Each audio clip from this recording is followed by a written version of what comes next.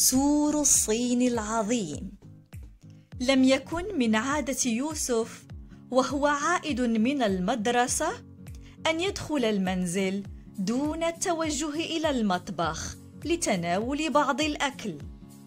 رأته أمه وقد توجه بسرعة إلى حجرته وفتح حاسوبه وجلس ينظر إلى شاشته الصغيرة.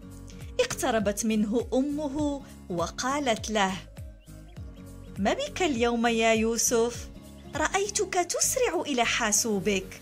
هل كلفتك الأستاذة بإنجاز بحث؟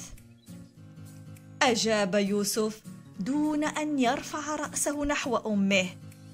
نعم يا أمي لقد كلفتني الأستاذة بإنجاز بحث مصور حول حضارة من الحضارات القديمة. وأي حضارة اخترت لعرضك؟ اخترت سور الصين العظيم يا أمي.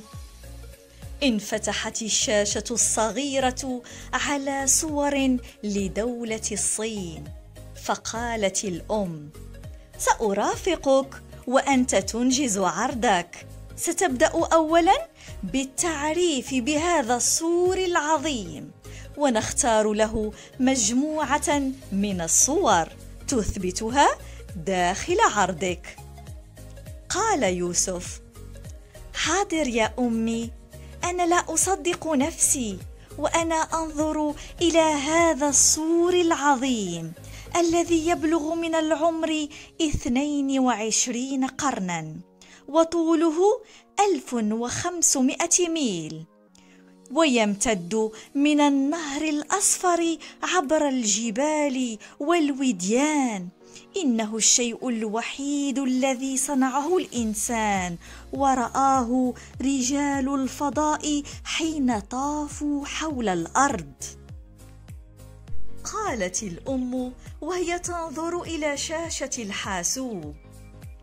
وأضيف إليك معلومة أخرى يا بني وهي أن أحجار هذا السور لو تفككت وبني منها سور صغير بدلا من هذا السور ارتفاعه خمسة أمتار فقط لاستطاع أن يحيط بالكرة الأرضية كلها.